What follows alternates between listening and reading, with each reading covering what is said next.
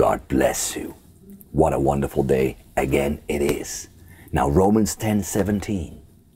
This know this one. So then faith cometh by hearing. Faith. Faith cometh by hearing, and hearing by the word of God.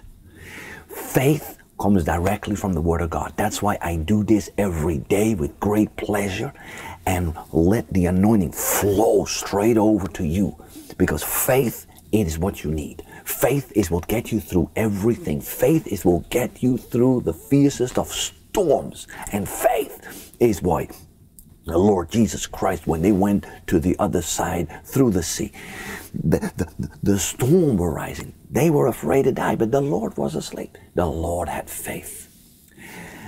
He just simply got up and rebuked the storm. But faith is what he requires us to have because by faith we will always make it. We need faith, a solid, grounded faith in Jesus Christ, our Lord. So, how does that faith come? How does that faith rise? It comes by hearing the Word of God.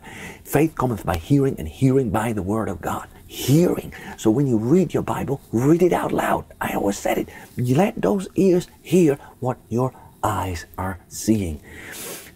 Read it out loud if you can, because faith comes by hearing, and faith is what will bring forth all the miracles. It is by faith we have come to the Lord, and it is by faith we carry on in the Lord. It is by faith we receive that which we need.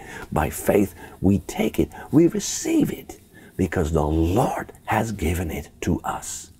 I will see you tomorrow for a lot more from my hometown. God bless you.